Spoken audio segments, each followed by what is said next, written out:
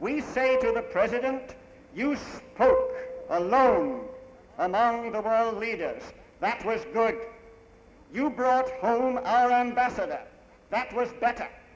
You brought home our trade envoy. That was better still. But now we want you to go further. This is not enough.